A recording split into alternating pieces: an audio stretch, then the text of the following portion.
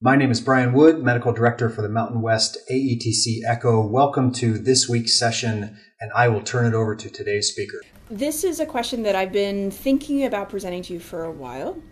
And it's a question to you. I'm going to ask you Does this patient need PEP, post exposure prophylaxis? So I was at my clinic and I got a call from just someone to Gay City. And he said he was a 20 year old Asian man who was on tenofovir only for Hep B treatment. And he was calling because the night before he'd had receptive sex with an HIV positive guy and the condom broke.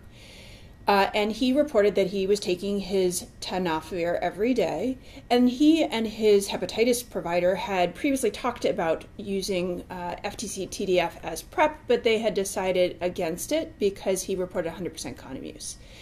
So the question to me was, you know, what is what does he do? It's sort of eight o'clock at night, and the question was, should he go to the emergency department for PEP? Okay, great, hundred percent say yes. Now my follow up question to you is, if he had been on FTC TDF and reporting hundred percent, would you refer him for PEP? So the reason why I'm bringing this up now is for those of you who went to ID week, that there was another case of PrEP failure reported.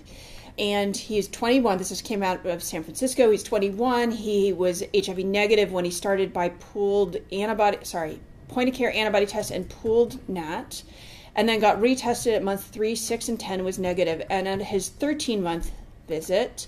He tested negative again by their point of care test, but he had a individual RNA that ended up being read as 559 copies and supposedly had great adherence by both dried blood spot and hair. And he had on his genotype a M184V, conferring resistance, of course, to his FTC and his regimen, as well as those other mutations you see, but did not have a mutation to tenofovir, and by phenotyping had susceptibility to tenofovir and his named partner, who had detectable virus, uh, had the same exact mutations he had. So this is another prep failure. We're going to see more prep failures, but I thought one of the interesting things about this case was about the fact that he was on tenofovir and it should have been active, and why didn't tenofovir provide protection? The guidance around tenofovir monotherapy and PEP to give you answers to your question. This is from the U.S. Uh, Public Health Service uh, the 2017 guidance that came out earlier this year, so that tenofovir alone has shown substantial efficacy and safety in trials with people who inject drugs and heterosexually, active adults and can be considered as alternative for these populations but not for men of sex with men among its efficacy has not been studied and that patients fully adhering to that daily prep regimen, again, this is of FTC TDF, do not need NPEP if they experience a potential HIV exposures while on PrEP.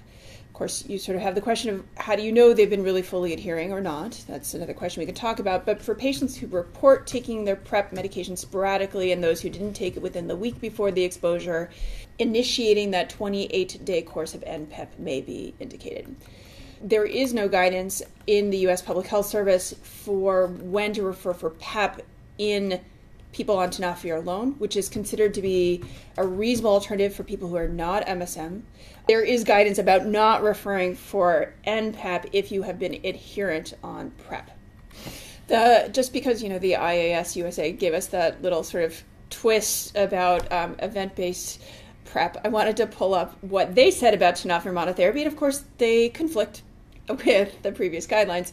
So their 2018 release say that both the combination of TDF3TC, TAF, FTC, which we know as Descovy, or TDF alone are not recommended for anyone at this time, and they had no comment on PEP following PrEP. So I just wanted to review what the data show about uh, efficacy of tenofovir monotherapy for use as PrEP. And I'm going to highlight the three studies that are on this slide that I often use as sort of the basis for FDA approval and guidance. The first is VOICE, which of course showed no efficacy of any of the modalities used for PrEP and felt to be due to low adherence. So I'm not going to talk any more about that. The second is the Bangkok TDF study, which used uh, TDF alone in injection drug users and the in the modified intent to treat analysis. So removing the individuals who had acute HIV at starting, the efficacy was 49%. But because, as we know, the, these efficacy estimates depend so much on adherence estimates, and that differs so much in the populations, I don't think it's really fair to say, well, our tenofovir monotherapy estimate is lower than all of our TDF FTC estimates, and therefore it has lower efficacy. So we're going to look a little more de- in depth at the only study which compared the two head to head, and that was the Partners Prep study. And these are all slides that I borrowed from Jared. So, just very quickly, Partners Prep was a phase three randomized, double blind, placebo controlled three arm trial, which I'll show you in a second, of tenofovir monotherapy versus combination prep versus placebo for prevention of HIV by seronegative partners in heterosexual discordant couples. And they enrolled almost 5,000 couples. So the initial strategy was this one to one to one randomized study between tenofovir alone, the FTC tenofovir arm, and placebo, and a DSMB evaluation recommend early discontinuing of the placebo arm. So that arm was stopped, and those individuals were then randomized to it continued to be blinded to either TDF alone or FTC. So what I'm going to show you first is that efficacy estimate in those two groups. So in compared to placebo in the before the uh, 2011 stop there were uh, 13 infections in the combination prep arm 17 in the tenofovir monotherapy arm compared to 52 in the placebo arm which came to a efficacy estimate in the modified intent to treat analysis of 75% for FTC and 67 for TDF. That was what was originally reported. They were not felt to be statistically significantly different than each other. But then, as I mentioned, what happened is that those placebo participants then got re-randomized, and the study continued to accrue patient to accrue patient time for another year and a half or so. So, in total, there were 4,000 plus subjects who were assigned to some sort of active PrEP medicines. Most of the people who were in placebo were randomized to one of the active arms, and a total of 87, 8,800 person years total were accrued, including 3,500 that happened after the placebo arm was stopped in July of 2011. What you can see is, and is the total number of infections in the TDF arm was 31. The total number of infections in the combination arm was 21, which comes to a incidence per 100 person years in both arms of less than 1. 0.7 in the TDF monotherapy, 0.48 in the combination one. I'll draw your eyes to the bottom where it said while the placebo arm was going, the incidence was 2 per 100 person year. So again, showing efficacy of both of them.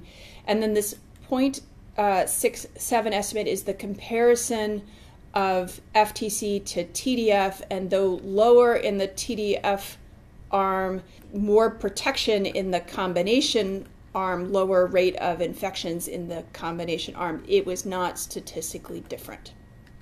When they did the subset analysis looking only at the individuals who had detectable drug levels, the estimates are in the ballpark of what we typically sort of say for efficacy when you take your medicines every day. So 85% relative risk reduction if you had detectable drug levels compared to those in the active arm who did not have detectable drug levels, and 90% for the combination. So, both highly effective. There has been, so moving away from Partners Prep, there has been some uh, literature devoted to efficacy of tenofovir monotherapy um, as HIV PrEP among individuals who are receiving tenofovir alone for Hep B treatment. The first was a report of two men of sex with men who had undetectable HBV DNA for over three years. This was used as a surrogate for adherence over time. At the time of HIV diagnosis, they reported that they had been taking their tenofovir and they had high tenofovir drug levels at the time of HIV diagnosis. Both of them had acute HIV symptoms. One, interestingly, despite having acute HIV symptoms, had a HIV virus level of under 50 copies, and the other had 159,000 copies, both having wild type virus. The second report is a single man of sex with men who started off with a very high HBV viral load that became detect- undetectable by one year. He had multiple HIV tests during this time, and that about two years into HBV treatment, he had an HIV RNA level that had 59 copies, good for them for detecting it, and a K65R mutation. And then they looked back and retrospectively he had super low HIV RNA levels for three months. So, just some reports, um, just like we're seeing case reports of individuals who fail FTC TDF as PrEP, there have been failures reported. But my conclusion to this is that tenofovir alone can be considered, although you know the reasons for just using TDF in and not TDF FTC are not completely clear to me or the indications for that. But if there is some reason you can consider using TDF alone as HIV pre-exposure prophylaxis for people who inject drugs in heterosexual adults that PEP should be considered in exposed men and probably anyone who had been on TDF alone if there's an HIV exposure. And then, you know, the what happens as with our case is that the discussion then should be whether or not the patient should actually be on FTC TDF for their Hep B treatment and for HIV PrEP. And then just sort of the shout out that PrEP failures do occur, will occur.